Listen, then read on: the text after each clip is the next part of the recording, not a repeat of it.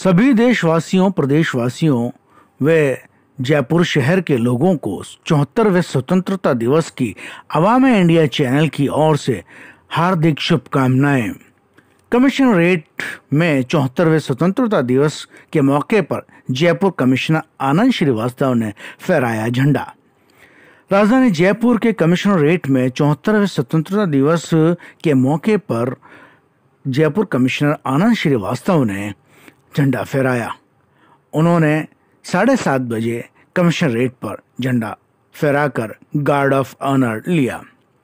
Commissioner ने कहा कि चौहत्तरवा स्वतंत्रता दिवस इस वक्त कोरोना काल में मनाया जा रहा है और पूरा सोशल डिस्टेंसिंग के साथ में सभी कार्यक्रम किए जा रहे हैं, क्योंकि ये पूरे देश का पर्व है, इसलिए बेहद खुशी का दिन है।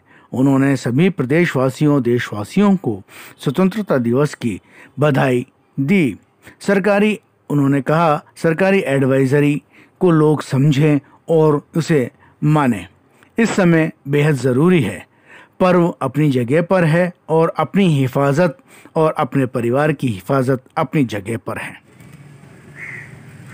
आज जो स्वतंत्रता दिवस का पर्व मनाया जा रहा है जयपुर में विभिन्न जगहों पर राज्य स्तरीय जो कार्यक्रम इस समय से स्टेडियम में आयोजित किया जाएगा इसके संबंध में पहले ही की मीटिंग होकर के ये तय किया जा चुका है कि जो कोरोना को देखते हुए जो नॉर्म्स तय किए गए हैं भारत सरकार के द्वारा और राज्य सरकार के द्वारा स्पेशली उसमें सोशल डिस्टेंसिंग का ध्यान रखना है उसमें मास्क का ध्यान रखना है कॉन्टैक्ट एक दूसरे से कॉन्टैक्ट के लिए जो इस नॉम नॉम नॉर्म्स उसके हिसाब से ही सारे कार्यक्रम को चाहे वो कॉलेज हो चाहे सांस्कृतिक कार्यक्रम हो सीटिंग की व्यवस्था हो, या लोगों के ट्रांसपोर्टेशन और आने जाने की व्यवस्था सारी व्यवस्था जयपुर पुलिस के द्वारा